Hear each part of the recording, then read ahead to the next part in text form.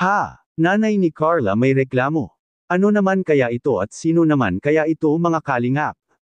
Isang mapagpalang araw sa inyong lahat mga kalingap sanay hindi nyo po makalimutan na mag-like sa video na ito.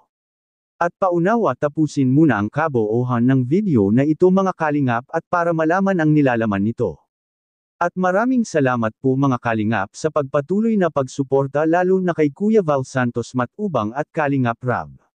Sobrang napakapalad ni Carla sa kanyang pagiging beneficiary ng Team Kalingap dahil sa ang lalaki ng mga perang natanggap nila mga Kalingap na nagmula sa mga kanilang nag-sponsors.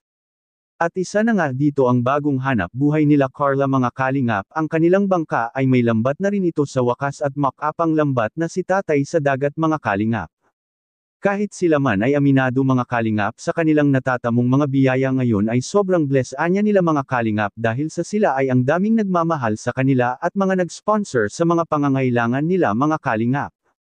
Kaya maraming salamat po sa lahat ng nagmagandang loob at sa mga taong mga may mabubuting puso na handang tumulong para kina Carla mga kalingap.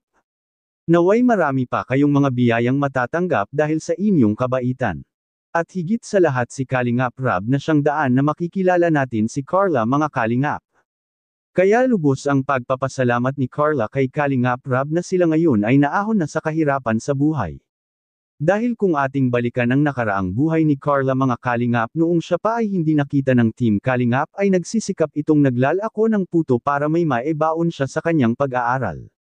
At mapapansin natin na naghihirap talaga sila Carla ng gusto mga kalingap dahil sa tinitiis nga nila ang tumira lang sa isang maliit na bahay at ang dami pa nila mga kalingap.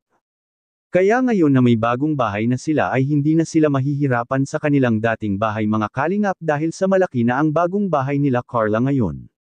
Kaya hindi natin lubos maisip na kung si Carla ay hindi pa ito natulungan at nakita nila Kalingap Rab ay malamang mga Kalingap mapag hanggang ngayon ganun pa rin ang sitwasyon nila at estado sa buhay.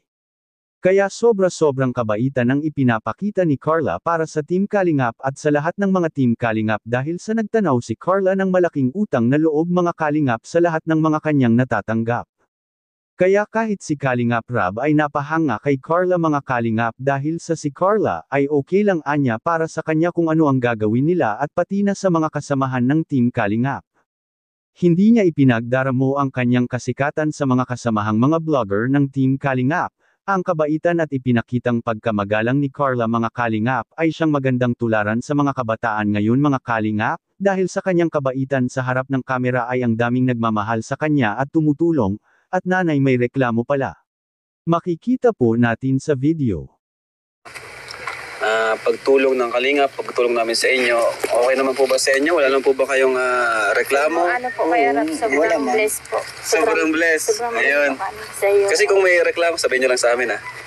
Wala, wala po kuya Rap. Mm. Tsaka po pati ang bait ng anak ko kaya hindi po siya mawawala sa samahan niyo. Pakabait ni Carla, grabe, wala akong masabi. Saka, ang gusto ko kay Carla, support siya sa lahat ng vlogger, di lang sa akin. Opo. Kahit Bait- sino. Bait po talaga ng anak ko. Kaya alam mo, Pantay-pantay ang tingin po niya. talaga niya. Hindi, na, na ano man niya yung hiya niya eh. Kung